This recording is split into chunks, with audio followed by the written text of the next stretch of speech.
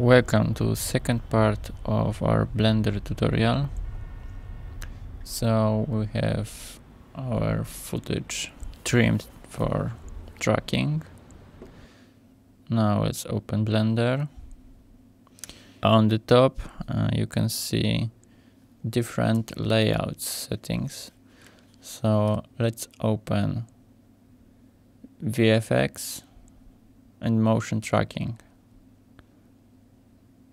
Now in this panel we can open our footage. Hit open clip. You can use scroll to zoom in and zoom out and middle click to navigate.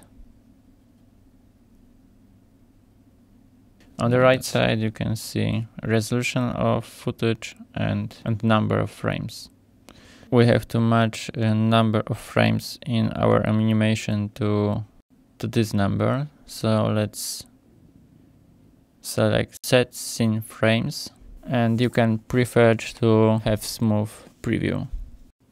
Now it's more responsive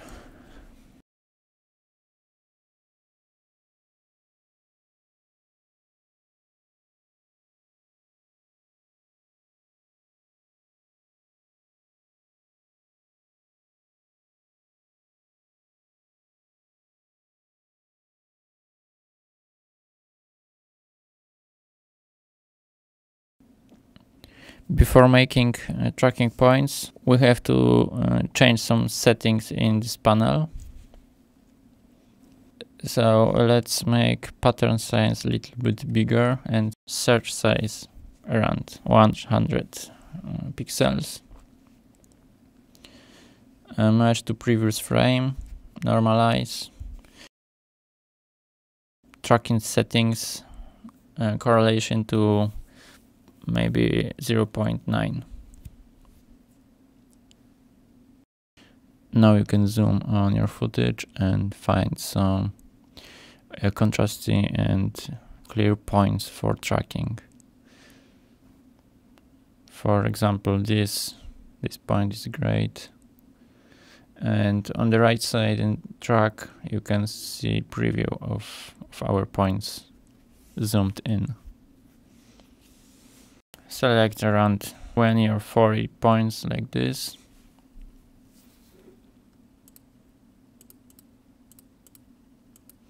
Now hit A to select all points, open track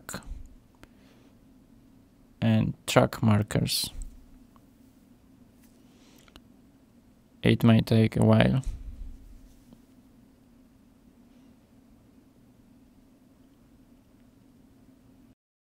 Now you can see all the points and their movements on the graph. And in this case, our graph looks very good, very clean. We don't have to delete anything at this moment. Uh, I will show you a preview of different graph with very shaky movement. But uh, we can leave it for now. We can go now to solve select keyframe, hit solve camera motion. Uh, sometimes it may take a couple minutes.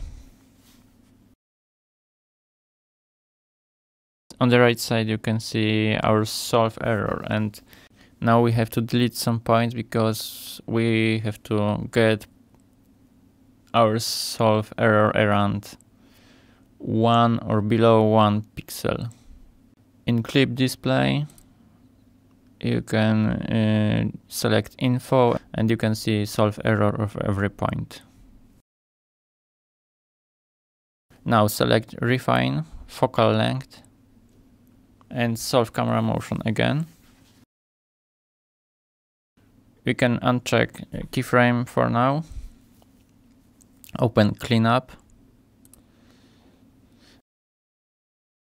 and this tool will help us to filter out all the tracking points with error above selected number. So let's set error to 4. select, delete, solve camera motion again. As you can see, solve error is now 1.64. Now I, I will change error to 3, select, delete, and solve camera motion again. I will do this couple times to get solve error below 1 pixel. We have already solve error 1 pixel and 0.95 perfect. In next step we have to set our footage as background in Blender camera and set up darken scene. And to align our points to the ground select three points and in orientation hit floor.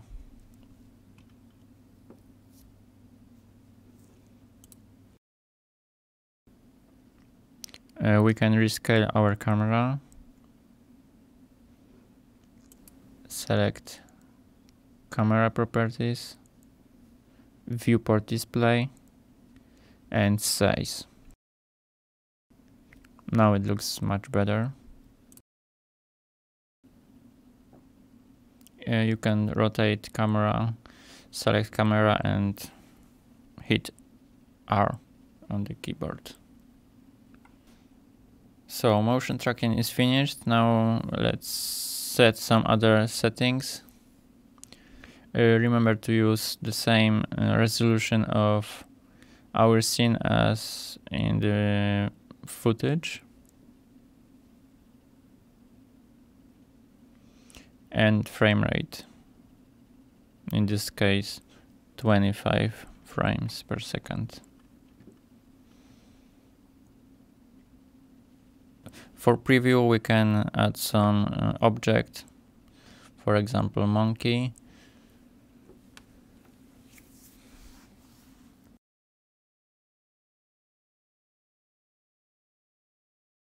and our motion tracking looks great already. Remember to set uh, your GPU as default uh, render device. To do this, open Edit, Preferences, System, and here are the settings. Uh, we'll be using one add-on, so let's open add-ons and in search box.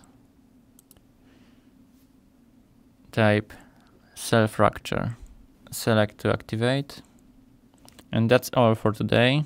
See you in the next chapter